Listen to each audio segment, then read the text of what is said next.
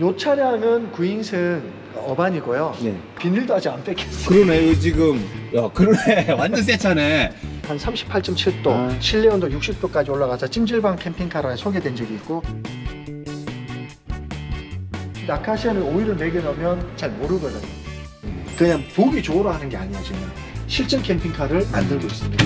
차주분 나중에 영상 보시면 댓글 달아주시길 예 알겠습니다 자 안녕하세요. 갑갑니다. 자 오늘은 고령이죠. 경북 고령에 와봤습니다. 뜨근뜨근한 스타리아 캠핑카가 있다고 해서 자 뒤에 보이는 캠핑카 시대. 자 들어가 보도록 하겠습니다. 아, 자 그리고 어, 새해가 밝았는데요. 어, 이 개면연에 우리 시청자 구독자님들 건강하시고 새해 복 많이 받으시길 바라겠습니다. 아, 요 차인가 본데요 일단 대표님 먼저 만나보도록 하겠습니다. 안녕하십니까? 어 저기 나오시네. 안녕하세요 야 아니 저 언제 어떻게 알았어요? 아니 뭐 전화 통화로 나왔는데 잠깐 깜짝 놀랐다. 예. 아 그러니까 저도 이제 요 차인가 보다 하고 네. 그 어. 사무실 안에 들어가는데 깜짝 놀랐어. 예. 전화해야 되는데 깜짝 놀라가지고. 아 저는 좀 이따 하시고 어, 이 차를 먼저 잠깐 소개하면 안 될까요? 네네. 급한 전화만 하시고요. 아니 아니 아니. 예, 네, 예, 끊었습니다. 알겠습니다. 요 스타리아 네 스타리아. 스타리아고 저 뒤에는 이제 카운티를 좀 작업하시고 네. 계신 거고 다음에 뭐 기회 되면 이제 카운티 한번 구경 시켜 카운티도 주시고. 있고 저 밖에 보면 이베코부터 해서 이베코 일체예요. 200호도 있어요? 다음에는 제가 이베코 하면 되겠네요. 네 맞습니다. 지금 캠핑카 시대에서는 제가 200호를 한 번도 다룬 적이 없으니까. 그렇죠. 어, 알겠습니다. 자, 그러면은 이 차 기본 사양 먼저 얘기하고 아, 구경하도록 하겠습니다. 요 차량은 9인승 어반이고요. 네. 그 이분이 원래는 이제 올 초에 계약했다가 예. 차가 안 나와서 천만 원 더 비싼 걸로 9인승으로 바로 뽑아주셨어요. 아, 차들이 지금 수급이 안 되니까 어. 아싸리. 네. 새 차인데 바로 내려 보내주셨어요. 비닐도 아직 안 뺏겼어요. 그러네, 요 지금. 야, 그러네. 완전 새 차네. 야, 이분 대단한 분이시네요. 아니 우리 캠핑카 시대는요 고객분들이 그냥 얼굴 안 보고 어. 그냥 밴드만 보시다가 이제 은퇴 시점에 돈만 먼저 보내주시는 돈 먼저 보내고, 그 다음에 아니면 차도, 차만, 어, 어, 그냥 안 보내고. 음, 그렇게 하고 있습니다. 아, 참. 이 차량은 뭐 풀옵션입니다. 뭐 풀옵션. 풀옵션 그리면 따로 설명드릴 필요 없지만 뭐 피아마 awning 음. 2m 70짜리 들어가 있고요. 네. 여기는 이제 우리가 안전을 고려해서 무시동 히터는 외부에 여기 바깥에 설치가 되어 있습니다. 여기 보시면 음, 밑에요? 여기 보시면 이렇게 외부에 설치가 되어 있고요. 여기 외부에 달아놓고 뭐 타이어 앞에 달아놨다고 해서 사람들이 이런 말 하시는 분도 있어요. 그 외부에 타이어 앞에 나면 돌 튀고 이러면 망가지지 않냐고. 지금까지 망가진 적도 없고 우리가 애써 무상 전품목 오늘 해주고 있으니까 그런 걱정하지 마시고 믿고 신뢰하시면 됩니다. 네, 아무래도 좀 험지 있잖아요. 네. 오지 가다 보면 네, 부딪힐 수 있는 거고. 어, 어. 부딪힐 수 있는데 지금까지 그렇게 부딪히기에는 우리가 설계를 안 했죠. 그동안에 다 어디가 됐었는데요, 무슨? 맹주기도 했죠. 그래요? 그러니까 문제가 만약에, 없다. 만약에 문제가 있으면은 우리가 해주죠. 해준다, 5년. 그 5년 이제 무상이에요, 유상이에요? 본인 가실은 당연히 유상이고요. 예. 그러니까 우리가 문제는 하자된 부분에 대해서는 무상으로 다 해줍니다.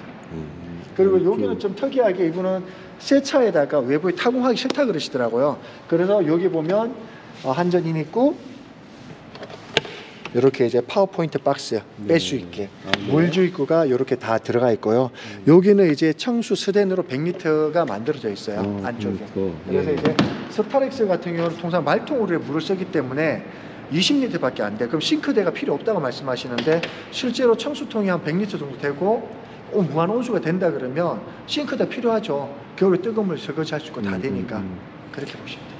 음. 성수가 100인데 오수가 얼마나 됩니까? 오수 같은 경우는 이제 설치하기는 공간이 좁아요. 그래서 음. 카라반 끌고 다니는 거 있죠. 오수. 아, 그냥 그냥 처리하면 되고. 수대용으로 개인이 준비를 해야 되는 거네요. 아, 우리가 다? 주고 있습니다. 아, 줘요? 어, 몇 출근대, 리터짜리요? 40리터짜리 40 출근대 리터요? 드리고 있습니다.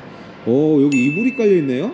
아, 여기 같은 경우는 저기 이제 구들장이에요.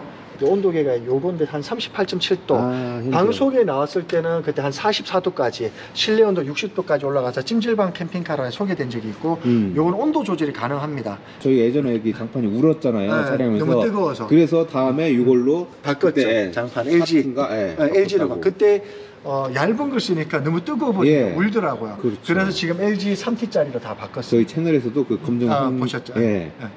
여기 같은 경우는 이제 이렇게 어. 보면 이제 아 레일이 아니고 여기 그냥 그대로 이게 무슨 원목이 어, 여기는 이제 아카시아랑? 우리는 다 편백으로 쓰는데 요 부분 예. 이거 아까시아로 바꿨네요? 여기는 아카시아 쓰는 이유가 뭐냐면 때가 많이 타잖아요. 왜 물건 같은 경우는 뭐 흙묻고 이런 걸 집어넣다 보면 이런 편백은 금방 색깔이 막 때묻고 찍히잖아요. 근데 아카시아는 오일을 매겨놓으면 집어넣더라도 그가 땡지 아니 원래 색깔인지 잘 모르거든요. 예전에 이제 편백 해가지고 당연히 편백인 줄 알았는데 아. 어 여기도 수납장이잖아요. 네. 사이드장. 네. 어, 좀 여기도 좀 새롭게 된 건가? 아, 요 부분을 잠깐 설명드리자면 어, 수납장이 원래 있었어요. 이렇게 이제 편백으로 이렇게 물건 넣을 수 있게 다 만들었고요.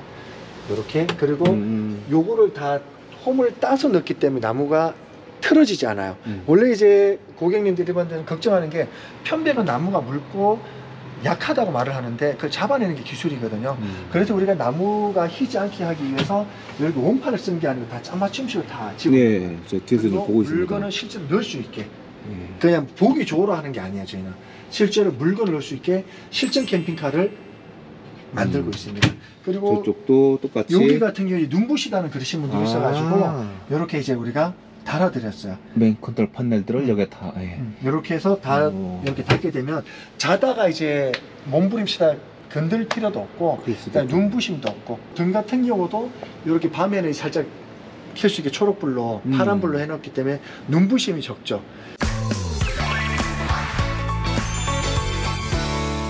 그리고 안쪽에 아까 보여주신다는 안쪽에 한번 예. 자 들어가기 전에 방충망이 이제 일체형으로 이렇게 돼 있고요. 요거는 이제 이렇게 해서 이렇게 들어가게 있어요. 그다음에 이제 여기가 이제 싱크대요. 싱크대고 외부 샤워기 이렇게 쓸수 아, 있게 샤워기 있습니다. 여기다가 했구나. 그러니까 어, 원래는 우리 외부에 뜰거 드리는데 이 예. 사장님 같은 경우는 절대 뜰지 마라. 아, 스텔스. 사공하기 싫다. 음, 그리고 요거 같은 경우도 스텔스 원하면 또 난중에 풀 수 있게 또 돼 있고 아, awning. awning을요? 어, awning을 풀 수 있게 다 돼 있어가서 이게 보면 다 풀어버리면 캠핑카는 안 보여요. 그냥 그렇죠. 자동차 주차하기 편하게 완전 수- 순수 스텔스. 음. 여기 보시면 이제 우리가 여기 일반 가정집 싱크볼을 쓰고 있거든요. 음. 물 빠짐이 좋아요.